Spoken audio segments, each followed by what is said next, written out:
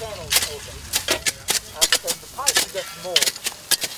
Uh, after really one day, the hyphae are going to spread out enough and hold those air channels in place. Pull those up. Yep. horizontally, tease every now and again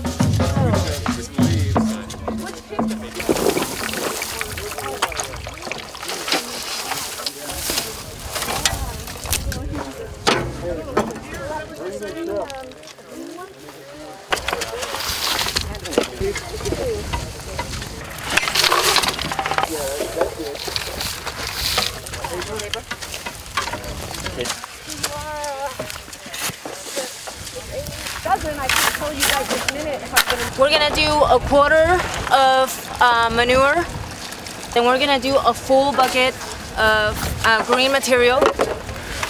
And now we're gonna do half of wood chips of the woody material. Are we liking the paper? More paper? Yeah, we should keep it in, like mixing it in half and half with the wood chips.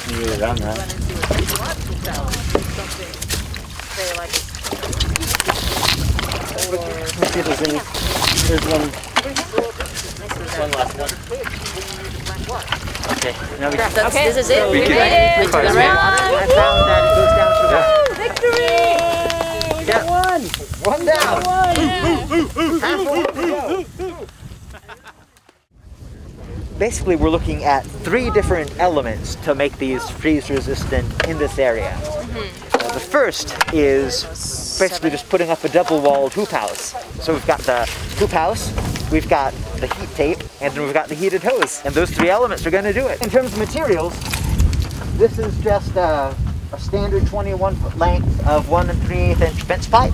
For the covering, uh, ideally, we would be using some reused materials. Uh, it could be lumber tarping.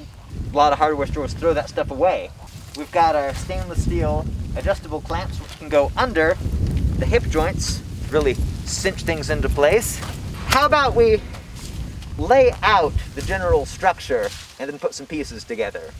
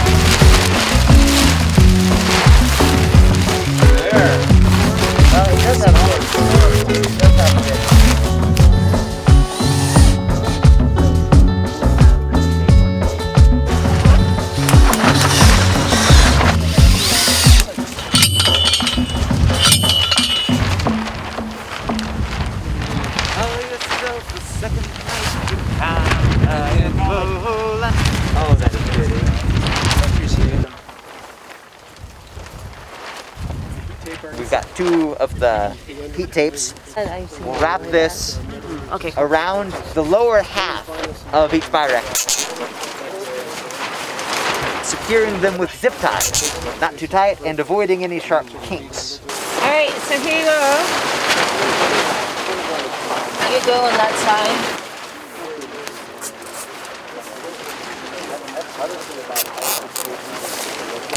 But basically, these will just go on over our pipes, drilled holes about every four inches or so on the bottom, and about every six inches or so along the top. These create nice sprays of water that cover the whole surface area and soak down through the pile. All right, what we got here is our uh, quarter, three quarter inch hose pipe with an integrated heat tape system in it. All right.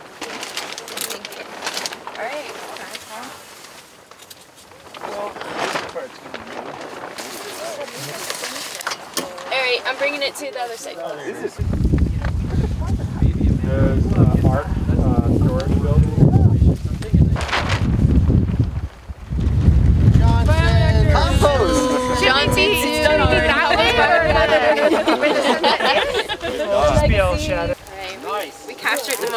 Yes. Beautiful afternoon.